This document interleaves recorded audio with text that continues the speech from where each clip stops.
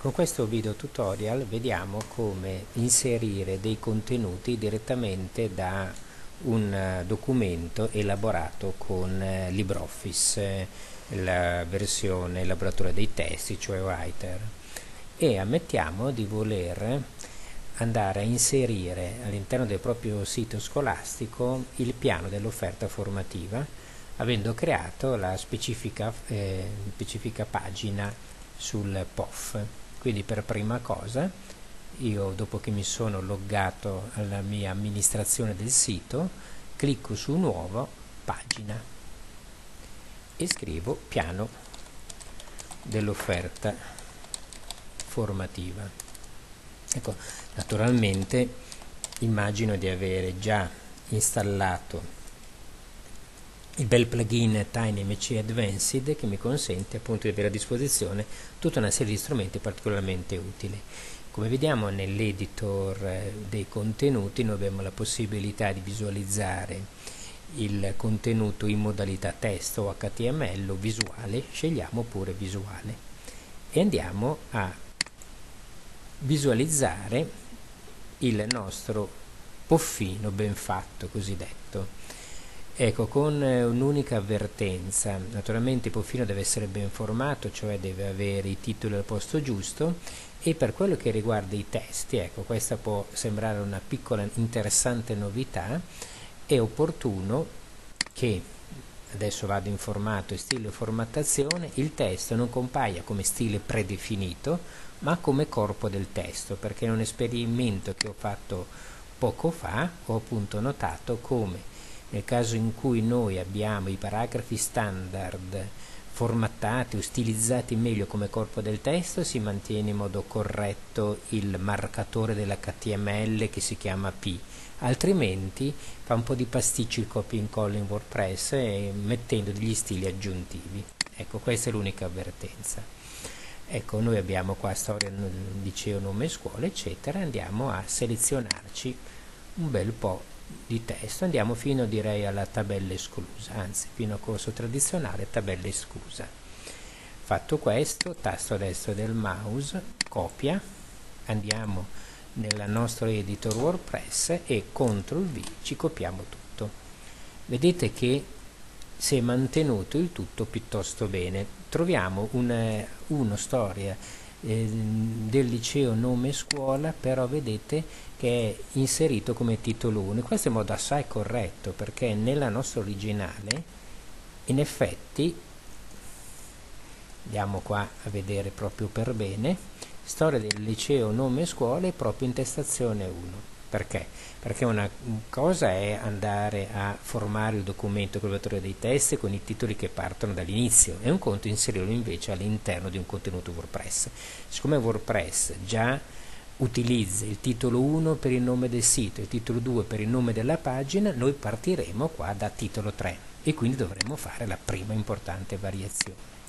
Storia del liceo nome, nome scuola diventerà un titolo di livello 3 ripeto, titolo 2, piano dell'offerta formativa, il suo primo figlio è storia del liceo nome scuola. Proseguiamo in basso, notiamo che qui c'è un'ancora, cosa vuol dire? Vuol dire che lì c'era un segnalibro che è stato utile poi per realizzare i sommari. Beh, questo lo togliamo perché è un elemento che non ci interessa, ma diciamo che struttura del liceo sarà un titolo 3. Lo stesso vale poi per i successivi elementi attenzione che qua l'ho perso vado a fare a cliccare in corrispondenza dell'annulla mi tolgo questa ancorina faccio un canc l'ancora è proprio quell'elemento che tra l'altro viene fornito dai Dynamics Advanced che consente di creare segni libri interni ma qua non ci interessano perché appunto il sommario qua non l'abbiamo da fare internamente e diciamo che questo è un titolo 3 Naturalmente se il piano di studi del corso di 1 è titolo 3, il corso tradizionale sarà un titolo di livello 4, perché ne è figlio. Perfetto. Avete visto che con una semplice copia e incolla si è ottenuto il risultato voluto. Per essere ancora più sicuri io vado a vedere nel testo, cioè in HTML. Vedete che assolutamente non c'è una virgola di codice sporco. E questo già mi consente di fare un piccolo approfondimento su quelli che sono alcuni dei marcatori principali dell'HTML e lo vediamo bene da qua, ecco, con questo parallelo visuale testo. Visuale abbiamo uno, storia del liceo, nome e scuole, e poi i vari paragrafi che si susseguono. Poi facciamo attenzione, dopo mille iscritti si va a capo, ma non si esce dal paragrafo e c'è dopo questa prima sperimentazione. Com'è l'effetto in HTML? Andiamo a vedere. Il marcatore che va a marcare i titoli di livello 3 H come headings 3 perché è titolo di livello 3 aperto e chiuso. Tutto quello che è contenuto all'interno di questi marcatori è il titolo di livello 3 già notiamo che il marcatore in HTML si scrive così minore nome del marcatore maggiore. E quando termina c'è una barra uno slash. Poi vedete il primo paragrafo. Il par marcatore di paragrafo è P e qua lo chiudiamo con piena autonomia. Poi ne inizia un altro eh, e fedelmente come è stato poi stilizzato anche il, diciamo, il modo con cui vengono presentati i testi in questo tema di WordPress si crea uno spazio verticale di separazione. Ecco, ecco qua la capo vedete mille iscritti poi c'è dopo questa prima sperimentazione. Ecco qua visto il marcatore per andare a capo rimanendo dentro il paragrafo cioè il corrispettivo dell'andare a capo che nell'elaboratore dei testi viene realizzato con quella combinazione di tasti shift invio minore br spazio slash maggiore. E poi ci sono ancora tutti gli altri. Per ricapitolare questo comportamento vediamo qua questa pagina. Vedete? Noi abbiamo un titolo 3 poi abbiamo una serie di paragrafi. Se vogliamo che due frasi dello stesso paragrafo siano di seguito, non mettiamo niente in mezzo. Se vogliamo invece che la seconda part, frase del paragrafo inizi appena sotto, dovremo scrivere in HTML minore dr spazio slash maggiore. Qui sotto invece c'è un minimo di approfondimento sulla gerarchia. I titoli, come ho detto, sono degli elementi molto importanti di strutturazione dei testi, importantissimi per mantenere la coerenza e leggibilità della pagina, importantissimo anche per le persone non vedenti che utilizzando programmi di sintesi vocale navigano più facilmente nella pagina quando il testo è strutturato per livelli di titolo allora se noi partiremo da un H3, cioè da un titolo di livello 3 e avremo dei figli come titoli, questi saranno di livello 4, titoli 4, H4. Poi dopo potrei avere un altro H3 che, fi- che è fratello dell'H3 di prima con un suo figlio e un eventuale figlio del figlio. Quello che importa è che la scrittura gerarchica non abbia salti e sia coerente proprio con questa strutturazione tipico ad albero. Bene, ritorniamo al nostro puffino e adesso andiamo a inserirci una immagine. Un'immagine che era quello che io avete visto nel copy incolla selettivo automaticamente è stata come dimenticata nel passaggio da LibreOffice a WordPress. Questa dobbiamo inserirla noi, la andiamo a inserire come contenuto che ho già salvato in locale. Come si fa ad aggiungere un'immagine? si clicca su aggiungi media questa è la nuova versione della gestione di immagini allegate fornite con l'ultima versione di WordPress eh, andiamo a cliccare caricamento file selezionare il file e ce lo andiamo a cercare nella cartella in cui è stato depositato. Questa cartella sarà in questo caso all'interno di anitel-tut ecco qua identificata l'immagine io l'apro automaticamente questa cartella diventa un elemento allegato di quale io posso poi mettere anche un titolo e un testo alternativo. Solitamente io metto lo stesso so, collegio dei docenti poniamo e replico questa informazione come testo alternativo importante perché il testo alternativo descrittivo è quello che fornisce a chi naviga con le sintesi vocali il contenuto informativo che andrebbe perso in quanto il contenuto immagine non può essere visto dalle persone non vedenti. Poi abbiamo impostazione delle visualizzazioni, uno può scegliere se usare la dimensione reale oppure se fanno una miniatura un pochettino più piccola scegliamo media e decidiamo anche dove andarla a mettere. La vogliamo mettere sulla sinistra e quindi andiamo a inserirlo sulla sinistra. Cioè in modo che il testo scorra a destra. Poi è possibile fare in modo che al clic dell'immagine l'immagine appaia nella sua dimensione massima oppure si può anche non mettere nulla. Se io qua scelgo il link a nessuna dire che l'immagine è un'immagine così che fa parte del nostro documento ma che non linka né un'immagine più ampia né a un'altra risorsa. Inserisci nella pagina e vedete che si è formata nella sua posizione. Il testo sembra molto attaccato ai bordi, non preoccupiamoci, l'editor visuale di WordPress non mi mostra l'effetto che viene garantito dal foglio di stile, ma nel momento in cui lo pubblicheremo lo vedremo. Bene, fatto questo, adesso non ci resta che andare a proseguire con uno degli aspetti più interessanti, ma anche più lunghi che completa l'inserimento dei contenuti, in questo caso accessibili all'interno di una nostra pagina. Andiamo a inserire la tabella.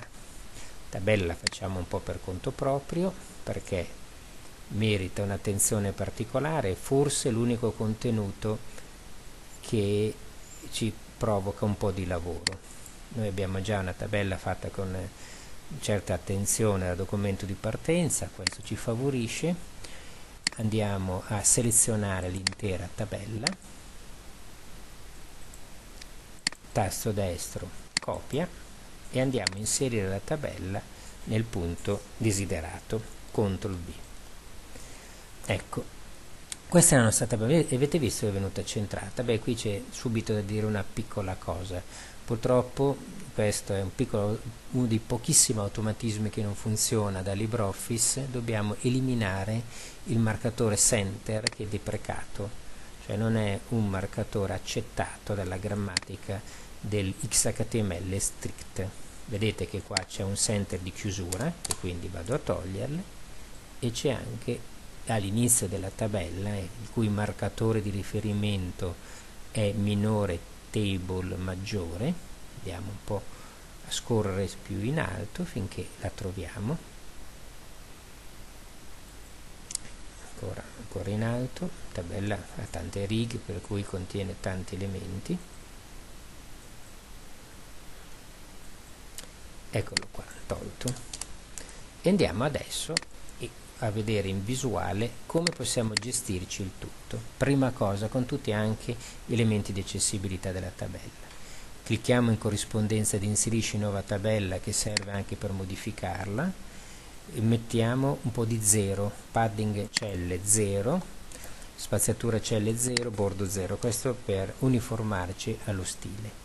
Clicchiamo in corrispondenza di didascalia tabella che vorrebbe dire in fin dei conti il titolo della tabella e in corrispondenza di avanzate scegliamo il cosiddetto sommario summary che è un po' anche qui una descrizione più analitica del, di, delle caratteristiche della tabella. Questo è un piano di studi per materia e anno.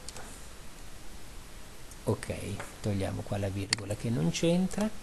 Togliamo anche delle informazioni accessorie sulla larghezza perché la larghezza per il momento che tra l'altro qui è fissata come una dimensione fissa può rischiare di farci dei problemi perché in un layout cosiddetto liquido cioè che si ridimensiona in automatico un elemento fisso può fuoriuscire laddove ci si restringa un po' la finestra attiva. Quindi li togliamo e aggiorniamo.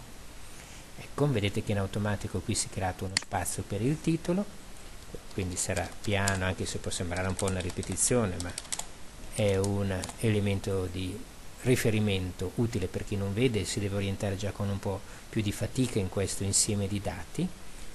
Corso diurno peraltro nel nostro stile questo, questo titolo di tabella che come marcatore si chiama caption viene reso invisibile alla vista per cui non disturba.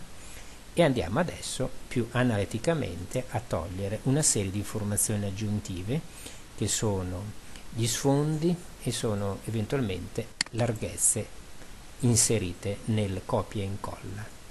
Quindi l'operazione di pulitura la facciamo adesso cliccando in corrispondenza della terza icona. Togliamo le larghezze che non ci interessano. A posto, avete visto?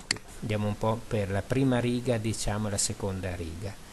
Aggiorna cella corrente no, tutte le celle della tabella. Aggiorna. Poi andiamo ad aggiornare anche il secondo elemento.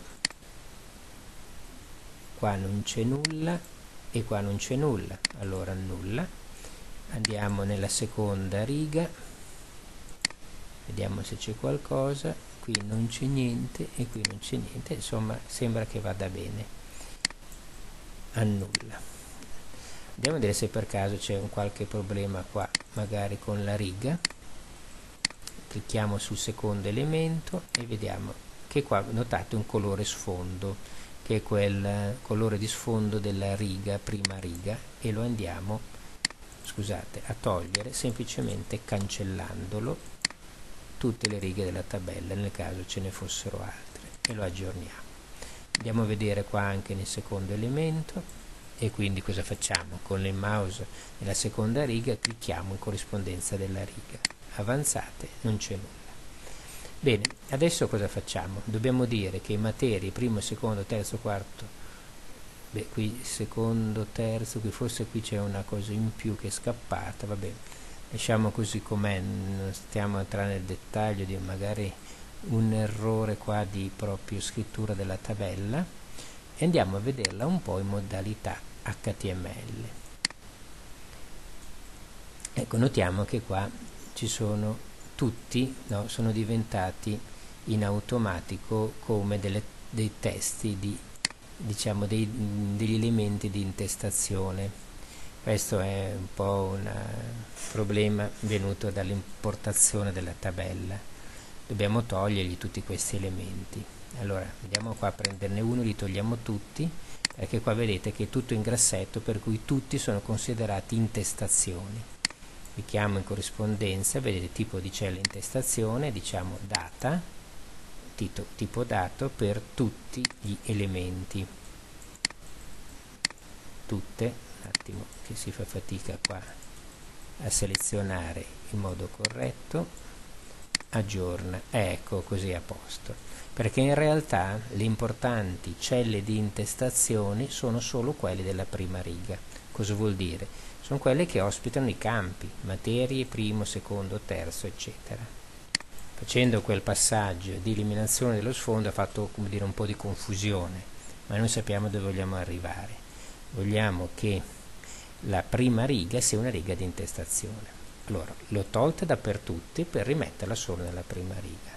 Vado su materia, clicco in corrispondenza della terza icona e dico data tipo di cella intestazione di colonna, scopo vuol dire di che cosa? Di colonna, per chi? Per tutte le celle della riga. Aggiorna. Vedete che in questo modo è diventata in grassetto soltanto la prima riga. Bene, direi che abbiamo fatto già abbastanza un buon lavoro.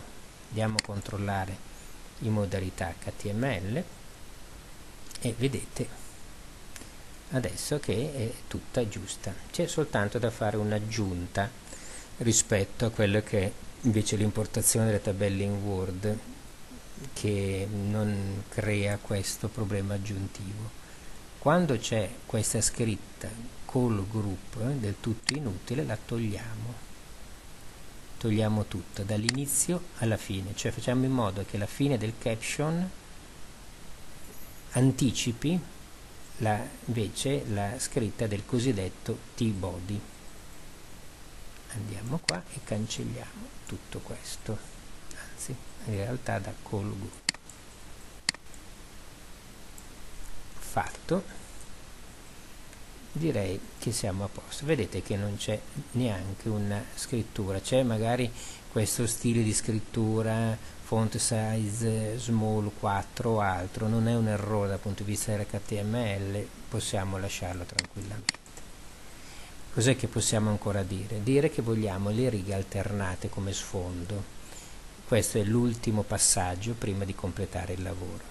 Per alternare le righe di, di sfondo noi mettiamo il mouse in corrispondenza della prima riga dei dati, clicchiamo in corrispondenza della seconda icona, proprietà riga tabella, e andiamo a dirgli una cosa che è legata a una classe che noi abbiamo inserito nel foglio di stile. Gli diciamo classe valore questo dipende dal nome dato, non è infatti valido per tutti i temi, ma per il nostro tema è così, scriviamo td, che sarebbe poi il marcatore di cella, alt, come fosse alternato, e diciamo che questo deve farlo per le righe pari della tabella.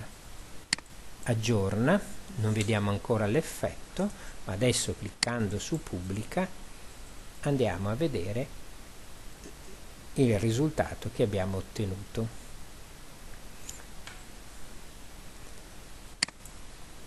ecco pubblichiamo e andiamo a visualizzare la pagina.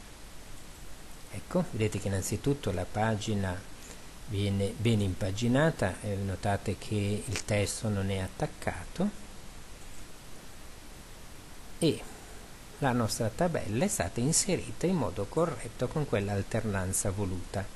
Andiamo anche a fare un controllo sull'xhtml per validare la nostra pagina e vediamo gli errori su cui occorrerà andare a minimamente intervenire in modo da ottenere un esito positivo della validazione del codice che sappiamo non essere l'equivalente di accessibilità totale ma è un elemento importante.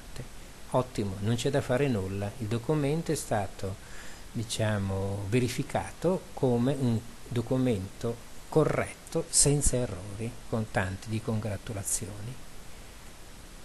Abbiamo terminato questa prima pagina, parte della pagina, di una pagina peraltro complessa, che è stata realizzata a dovere, facciamo soltanto l'ultimo passaggio. Ammettiamo il piano di offerta formativa di aggiungerlo nel menu come voce aggiuntiva. Come facciamo?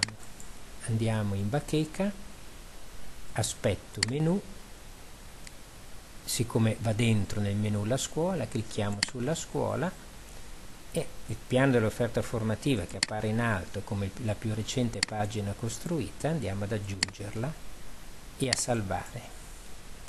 Andiamo a vedere l'esito con visualizza sito. Vedete che appare e appare in modo corretto così come era stato voluto